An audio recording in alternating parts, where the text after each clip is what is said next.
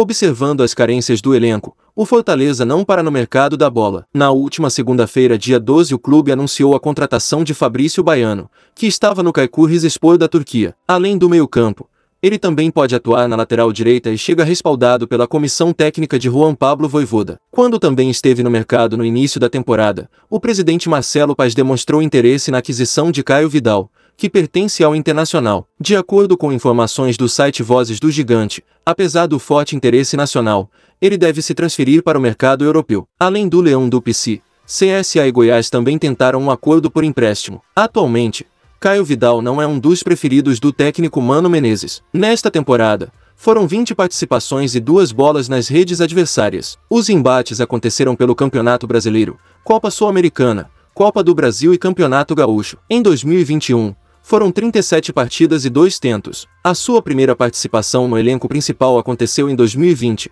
quando disputou 15 jogos e marcou dois gols. Na carreira, o atleta de 21 anos foi revelado nas categorias de base do Grêmio Recreativo Pague Menos. Em seguida, ainda vestiu a camisa do Porto de Pernambuco, até chegar ao Inter. De acordo com informações do site Transfermarkt, o vínculo de Caio Vidal com o Internacional possui duração somente até dezembro, ou seja, ele já pode assinar um pré-contrato com qualquer outro clube. O seu atual valor de mercado é de 1,80 milhão de euros, cerca de 9,8 milhões de reais na cotação atual. Deixe o like no vídeo e para ficar atualizado das notícias do Fortaleza Esporte Clube se inscreva no canal. Muito obrigado, até breve.